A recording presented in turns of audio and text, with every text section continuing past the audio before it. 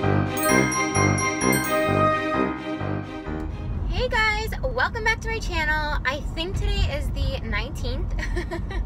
I'm pretty sure because I think I uploaded the 18th today.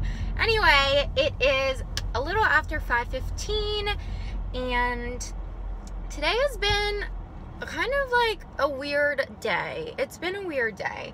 So I woke up early this morning as per sort of usual, I guess, like not all the time, but so I woke up this morning. I was so tired. I don't know like what sort of energy I had these past few weeks where I was like getting up and like feeling fine, but mm-mm, it's gone. So I was feeling pretty tired, whatever, like had my morning.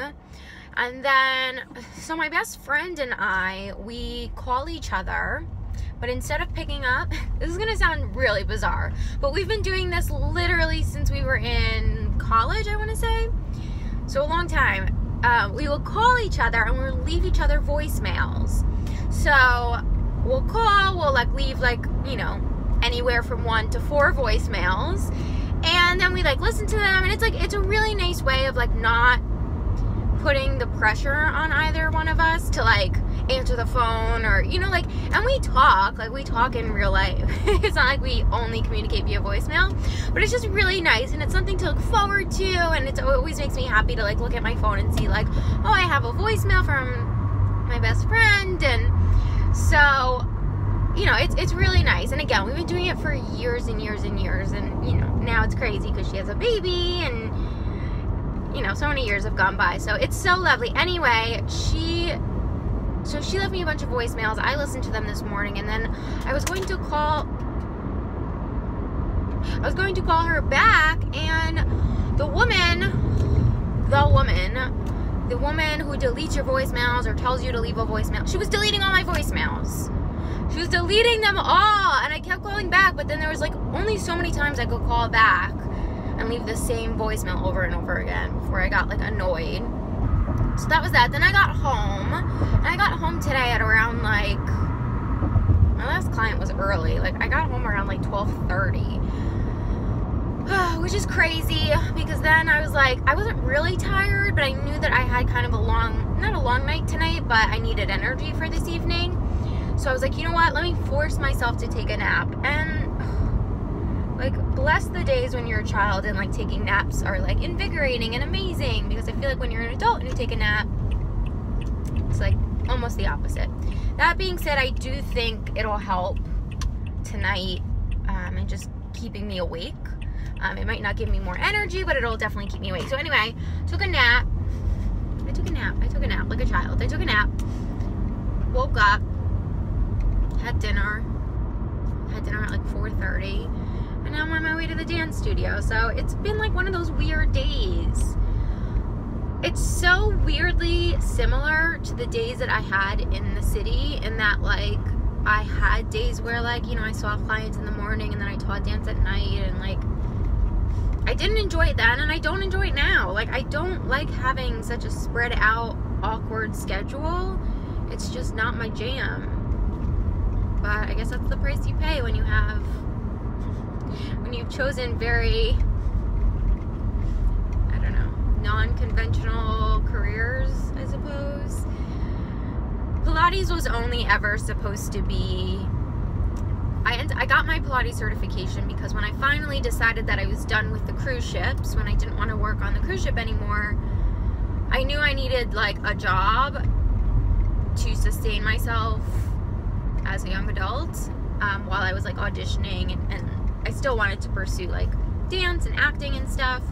So I got my Pilates certification. Of course, it was something that I was interested in, and as a dancer, it was a very like natural transition.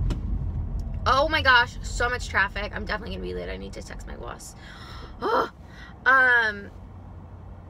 So fine, but then it just like maybe because it's a client-based profession, but it's just it so quickly takes over your life. And I found it to be the same in the city. It was like it just and I love Pilates and I love teaching and like I just don't like when I feel like I don't have control over my schedule and like I don't have control over my day and that's when like that's when I have like my mini like little freakouts um, or just kind of like feel gross.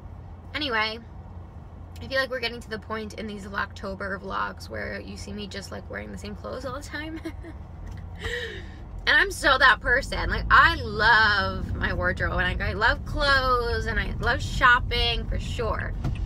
But I have a tendency, I do, to just wear the same clothes over and over. And especially when it comes to like my work clothes, which are literally just workout clothes, I tend to just re-wear the same stuff over and over. Um, how are we feeling about this sun? I can't win here. I can't win. It's always sunny and it's always so hot. Sunny, sunny I don't mind because that was a huge reason why we were excited to move down here. Sunny is fine. It's just the heat that's starting to like make me a little crazy. It's almost the end of October and it's still like 90 degrees out. Anyway, okay. I know I'm blabbering. Anyway, the reason I took a nap was because I have a long night tonight. I'm teaching and then I think I'm going to stay and take class after. Um, I'm going to take a take a contemporary class. So that'll be fun. I haven't taken a contemporary class in a long time.